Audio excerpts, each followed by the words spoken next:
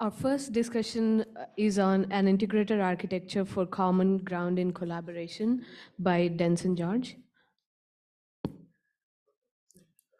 Hello, everyone. My name is Denson George, and today I'll be presenting regarding the paper, An Integrated Architecture for Common Ground and Collaboration. This was written with my co-authors, Dr. Christopher Geib, myself, my fellow Rutgers PhD students, and our advisor, Dr. Matthew Stone. So an important part of our talk project is common ground reasoning. So we define common ground reasoning as the mutual knowledge about the relevant state of the world and the relevant status of teammates' actions and plans. So this is a body of knowledge that's being used in order to make sure that everyone's on the same page.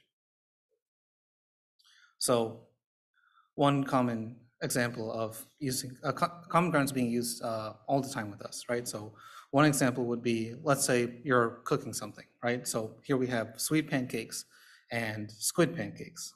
So both of them are pancakes. They use the same uh, basic ingredients, but then they get a little bit more complicated afterwards.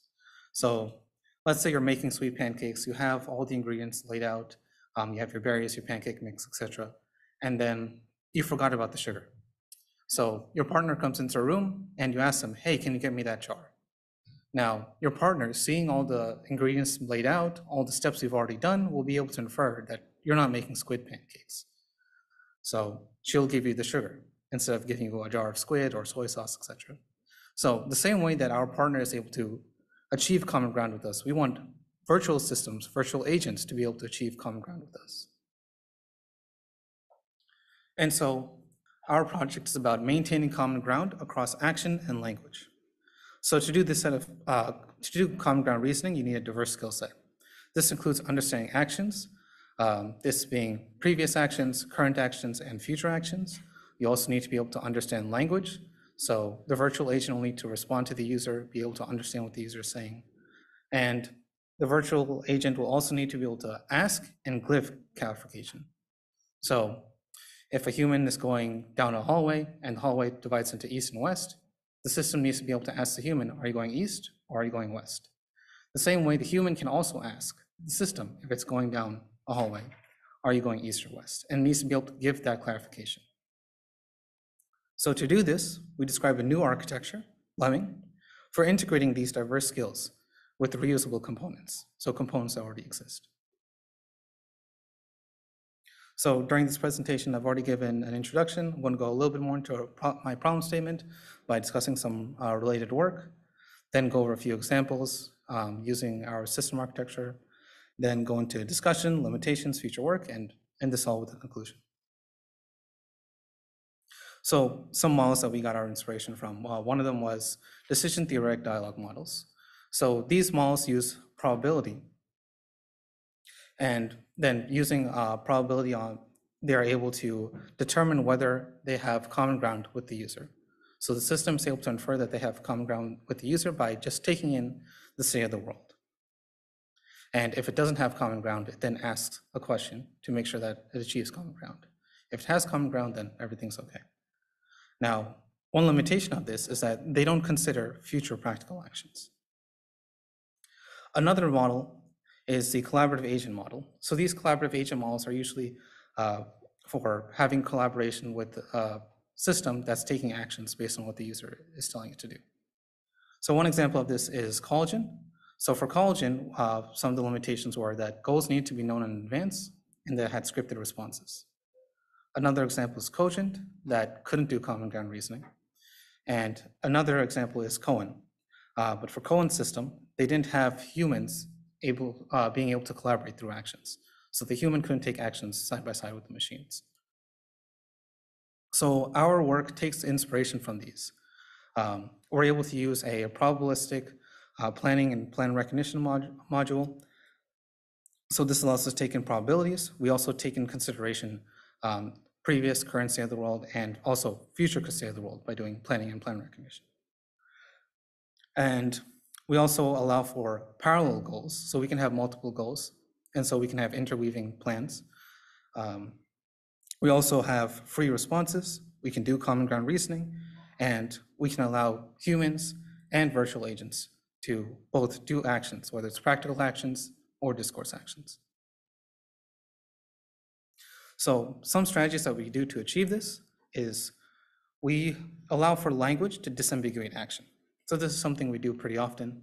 Uh, If I say I'm going to triage victim and that victim is in room three, when I walk down the hallway, you'd be able to infer that I'm going to the room where the victim is, in this case, room three.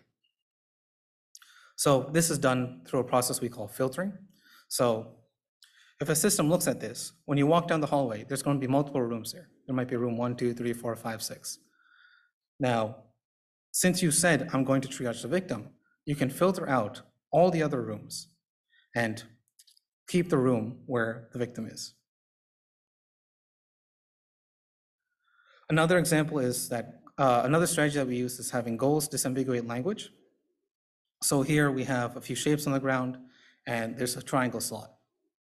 And so the human says, could you hand that to me? In this case, the system should be able to infer that the human needs the triangle and pass the triangle to the user. So in this case, we have the word that, which is being a discourse referent. And this, we uh, refer to this as anchoring, where you attach the, when you match the meaning of that to the triangle. Another important case is there's going to be cases where you don't have common ground with your system. Um, So in this case, you need to have contributions being clarified. Those contributions can be utterances, actions, plans, etc. So in the scenario where you're going down the hallway, um, if you don't know where the user is going, you need to ask, are you going east or west? So the way we do this is through this uh, Lemming systems architecture. So at the top path over here, we're handling language. At the bottom path over here, we're doing planning and plan recognition, which is powered through ELEXIR. So at the top, the user says a phrase. That phrase is then uh, goes through the NLU. The NLU then puts that into a logical form. At the same time, when the user is doing actions, these observations are being recorded and put into our planning recognition algorithm that generates a list of explanations. So now our logical form and explanations come together to go through the anchoring and filtering process we just went over with the previous examples, and they update the public state. Now, with this information, the system is able to deliberate whether it should take a communicative action goal or a practical action goal or both. So now let's go into an example. So as we were talking before, we're in the process of making sweet pancakes. You ask, can you pass me that jar?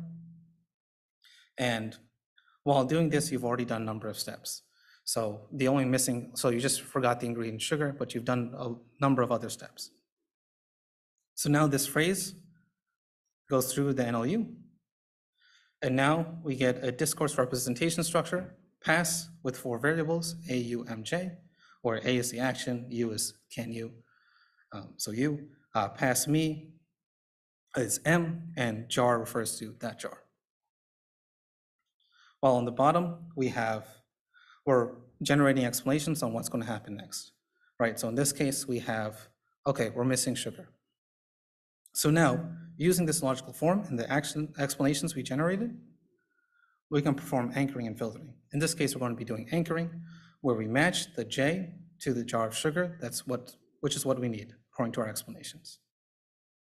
So now we update the public state saying that we need jar of sugar, and now we can do deliberation.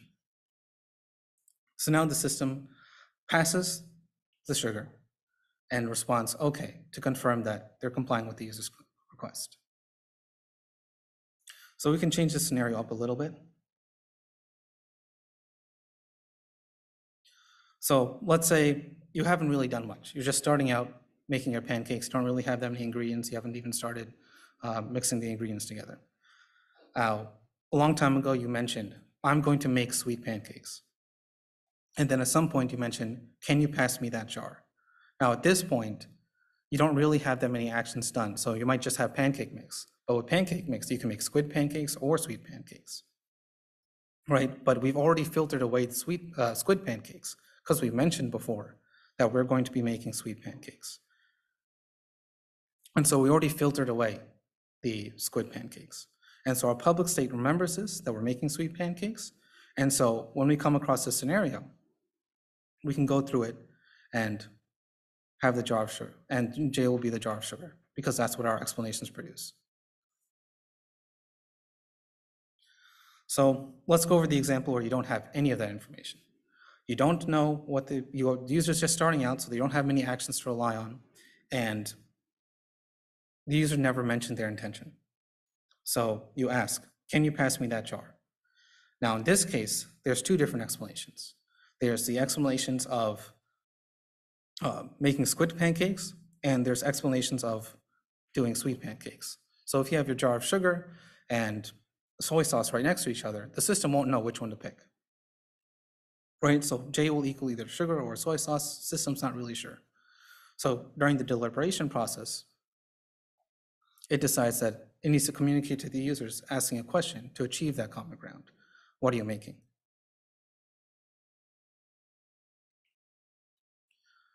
So currently, our work is proof of concept. It's a work in progress. Right now, uh, we're looking to have richer uh, semantic grounding. Right now, we're only, we're focusing on simple uh, ref- referential expressions, and we want to be able to do more semantic grounding. Um, We also want to have more robust dialogue management and plan inference. So for our future state, we're going to be building a virtual assistant system and analyze the interactions and confirm that achieving common ground is leading to success. So in conclusion, our architecture integrates language and action understanding to deliver integrated interpretations of ongoing activity. So this allows us to recognize common ground, to detect, diagnose, and respond to problematic situations, and to reduce and avoid ambiguity in selecting plans, in selecting actions to meet goals.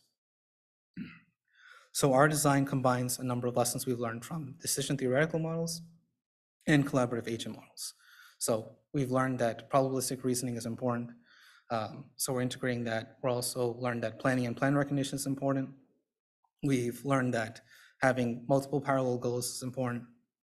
And that it's important to incorporate, to allow for both humans and virtual agents to take actions and discourse actions together.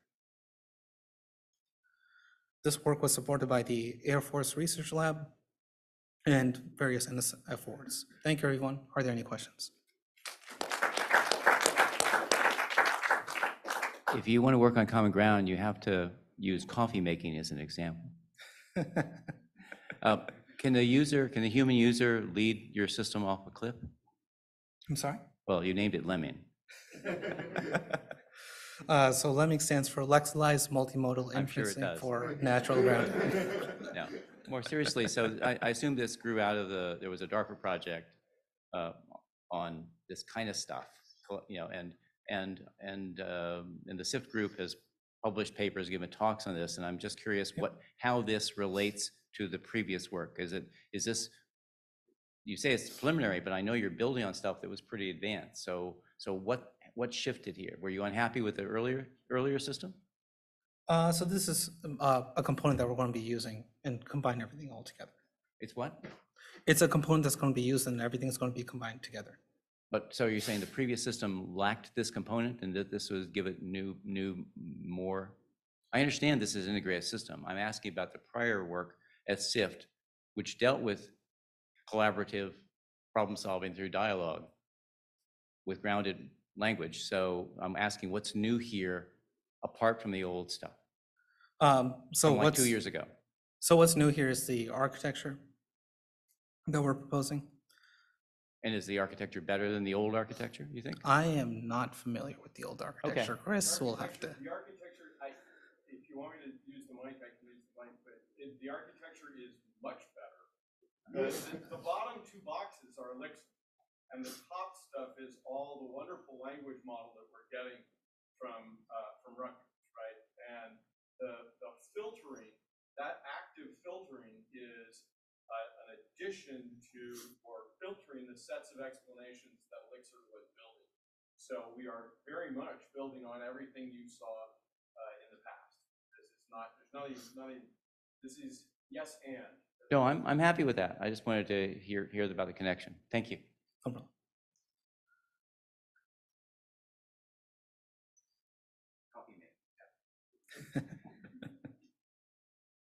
Um, So there are no more questions on Slack yet. There any other questions? Okay, I think we can move on to our next presentation. So we're just trying to come up with two different recipes that have the same base, are completely different, and Dr. Matthew was the one who recommended us squid pancakes. So you would have to ask him, he would be apparently the expert. Hmm. Thank you, everyone.